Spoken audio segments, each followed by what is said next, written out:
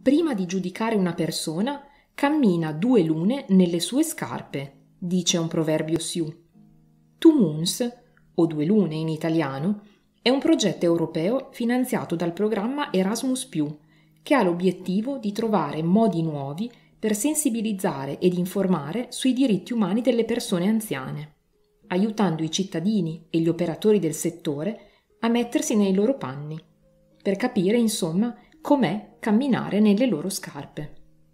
I diritti umani sono spesso concepiti come dichiarazioni di principio e c'è scarsa consapevolezza di come essi si inseriscono nella vita di tutti i giorni. In realtà i diritti umani riguardano i bisogni vitali, spirituali e materiali della persona. Sono i diritti alle fondamentali libertà civili, politiche, sociali, economiche e culturali. Sono ciò di cui ogni persona ha bisogno per poter essere considerata e sentirsi degna di essere definita un essere umano. Ed è importante che siano conosciuti, perché ogni volta che ci dimentichiamo di averli o di rivendicarli, oppure ogni volta che qualcuno non li riconosce, li comprime, li infrange, anche attraverso le leggi, o ancora, se i diritti umani non sono considerati nelle premesse di un ragionamento giuridico o tra i fini di un intervento legislativo, il diritto smette di avere la sua funzione migliore, e cioè essere uno strumento per far vivere meglio le persone, come individui e come società. Quando poi i diritti violati sono quelli delle persone fragili, come gli anziani, e ne abbiamo avuto esperienza in questi giorni, le conseguenze possono essere drammatiche. Two Moons vuole aumentare l'attenzione sui diritti umani delle persone anziane, dando voce alle storie vere di anziani europei che hanno visto i propri diritti umani trascurati o violati. Storie che sono state poi tradotte in monologhi teatrali.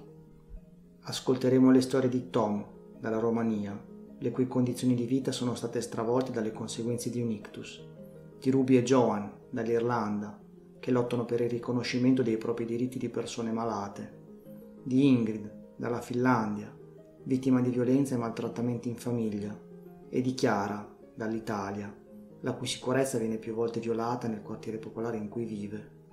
Cominciamo allora a capire com'è camminare nelle scarpe di questi anziani. Buon ascolto.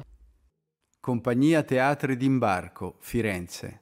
Anziani e non solo, Carpi, con Abilitas, Bucarest, Voiva, Helsinki, CLJ, Dublino, The Getty School of Acting, Dublino, presentano Two Moons, le nostre voci. Drammaturgia, The Getty School of Acting.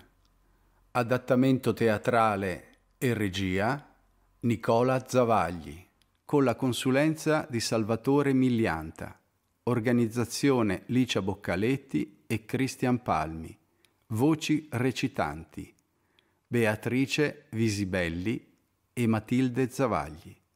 Signore e signori, eccoci giunti alla quarta tappa di questo viaggio in Europa per conoscere un po' meglio la condizione in cui vivono i nostri anziani e le piccole e grandi ingiustizie che subiscono. Lo ripetiamo ancora, gli anziani sono esseri umani, non vittime, e non vogliamo che siano vittime in quanto anziani. Per questo vorremmo dire insieme a voi, basta, voglio fare qualcosa perché in questo mondo dove tutti dovremmo essere più solidali, questo non accada più. Ma ora ascoltiamo la storia di Joan.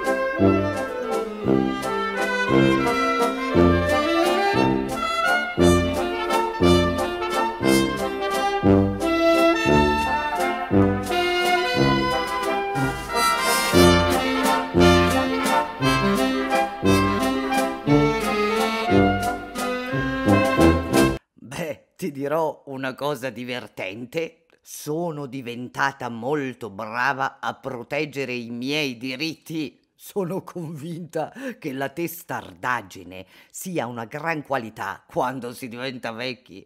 Due anni fa ho avuto un ictus. Nessuno mi ha detto quale parte del cervello era stata colpita. Un anno dopo ho scoperto che era la parte destra e per questo potevo avere un senso falsato della mia disabilità, cioè potevo pensare di stare meglio di come stavo in realtà. E infatti l'ho pensato.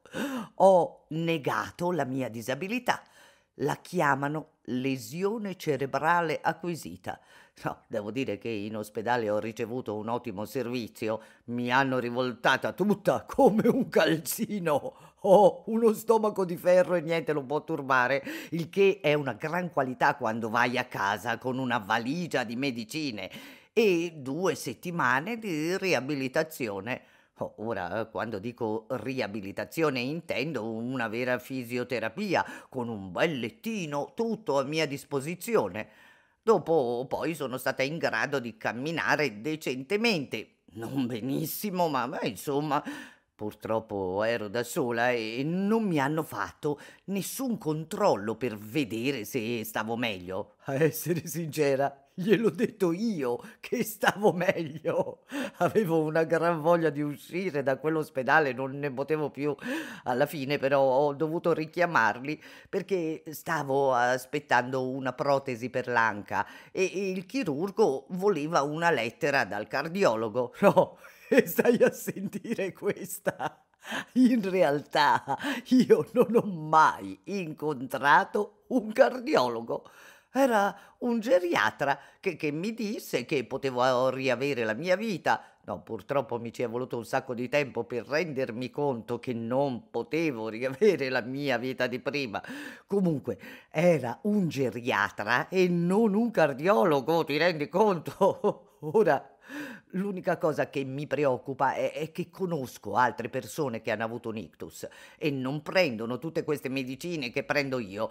Quindi chi è che controlla? A, a dir la verità, il mio medico lo fa e, e sono fortunata ad avere un buon medico di base. Allora, allora vuoi un consiglio da me? Ascolta, ascolta, appena compi 40 anni o giù di lì, cercati un buon medico di base e se non ti piace scaricalo e trovane uno nuovo, fallo. Perché se non ne trovi uno giusto entro i 40 anni, rischi grosso se qualcosa più tardi va storto.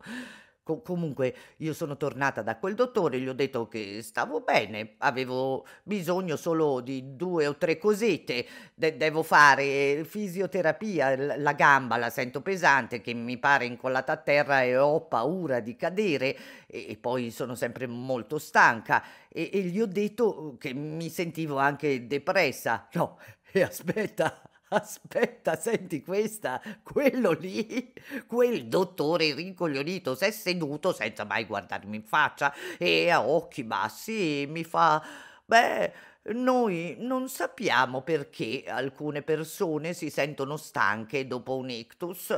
Noi non sappiamo perché alcune persone si deprimono dopo un ictus. No, dovevo capirlo da sola, ti rendi conto? No, io volevo fare qualcosa, ma non volevo prendere tutte quelle medicine che poi divento dipendente, così altro problema e ci manca anche quello. Poi mi ha fatto trottare lungo il corridoio per vedere la gamba, ma la sua gamba sta bene, può tornare a lavorare. Ed ecco che in un minuto ero fuori, scaricata. Pensa, solo tre mesi dopo aver avuto un ictus, che idiota di dottore. Grazie a Dio ho un buon medico di base.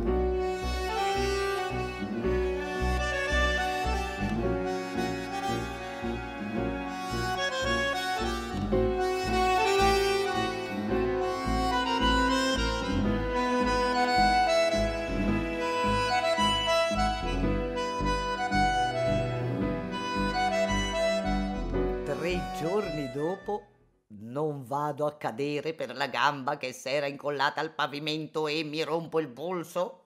Quindi l'ho richiamato quel dottore e gli ho detto che volevo delle scuse. Non so chi si creda di essere, ma per quanto ne so io, è un dipendente pubblico pagato dalle nostre tasse e se non mi chiede scusa io faccio un casino della Madonna. Mi ha chiesto scusa No, non di persona, eh, per telefono. poi ho lasciato perdere, ma solo dopo avergli consigliato di impararle due o tre cosette sugli ictus, perché è chiaro che non ne sapeva niente. E ovviamente non ha risposto, quindi gli ho mandato una lettera, ma voglio dire, ma che arroganza! E anche la memoria. Peggioravo, perdevo le cose, una volta dimenticavo la borsa, un'altra il telefono Ero completamente a terra, ma io non sono così.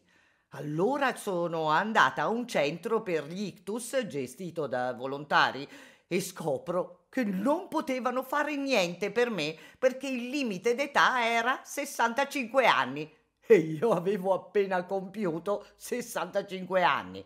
Ma se due anni fa mi avessero dato queste informazioni dopo l'ictus, avevo 63 anni e potevo fare questa terapia. Non mi hanno neanche detto quale parte del cervello era stata colpita. Avevano fatto l'attack, potevano dirmi cosa poteva succedermi. Quando ho avuto l'ictus, avevo l'età giusta per usufruire di tanti servizi ma quando sei anziano non sei più una priorità. E ho capito che effettivamente non ci sono più tanti soldi per quelli della mia età. È molto ingiusto, perché adesso la maggior parte delle persone lavora fin quasi a 70 anni. Ora io scrivo sempre delle lettere. Ho scritto al tizio che mi ha visitato in riabilitazione per chiedergli Qual è il protocollo per i pazienti con ictus quando vengono dimessi? Eh? Ho portato la questione fino al ministero. Ah, no, no, non mollo l'osso io. E gli ho detto, caro ministro, se hai un problema con le barelle che intasano le corsie del pronto soccorso, ti do un consiglio. Dai a persone come me che hanno avuto un ictus la possibilità di fare una fisioterapia come si deve e non rischieranno di cadere per terra da tutte le parti e rimanere nella merda. È la mancanza di informazione, caro ministro. Non si dovrebbe andare in giro a cercare le informazioni. È un mio diritto sapere tutto sulla mia salute e cosa posso fare quando esco da un ospedale. Se l'ictus mi prendeva all'altra parte del cervello, potevo perdere la parola Oh, beh, è una benedizione che non è successa, caro ministro, perché poi io vivo con un ventenne e devi poter urlare a un ventenne. Pensa, potevo finire a vivere con mia sorella, oddio no, che incubo. E dico sempre, è perché sono testarda che sono riuscita a riprendermi così bene. Non sono una che si arrende io. Ripeto, essere testardi è una gran qualità quando si invecchia. E ora vado che devo scrivere un'altra bella lettera al ministro.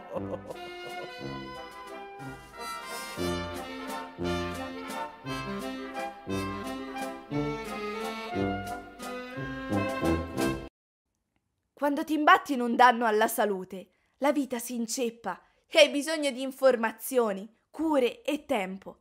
Altrimenti si cade come Joan e si ritorna a gravare sul servizio sanitario. Quando ti imbatti in un danno alla salute, hai bisogno di sapere cosa ti è successo per poter provare a decidere quel che potrai fare. Se non sai cosa hai avuto, se non sai cosa puoi fare per curarti, non puoi nemmeno pensare a una tua nuova autonomia. Non potrai mai progettare una tua nuova vita. Potrai solo subire una vita priva del potere di decidere e di fare quel che vuoi. E non poter fare quel che vuoi per come sei o per l'età che hai è discriminazione. Significa avere meno opportunità tra cui scegliere. E allora vuol dire che la scelta, per te, la fa chi ti discrimina, perché ti toglie lui, arbitrariamente, le opzioni tra cui scegliere. Limita il tuo volere, riduce il tuo valore e ti toglie la dignità. Quando ti imbatti in un danno alla salute, hai bisogno di cure. Ma le cure non sono soltanto una valigia di medicine, cure mediche e prestazioni sanitarie. O meglio, sono tutte queste cose, ma adattate a quel che sei dopo la tua menomazione. E per questo c'è bisogno più che di una prestazione di cure, c'è bisogno di una relazione di cura. Tuttavia, le relazioni necessitano di tempo. Allora, un semplice concetto vorrei farti notare, che è un concetto bellissimo. Nel diritto, il tempo della comunicazione tra medico e paziente costituisce tempo di cura, il che significa che l'ascolto è già cura.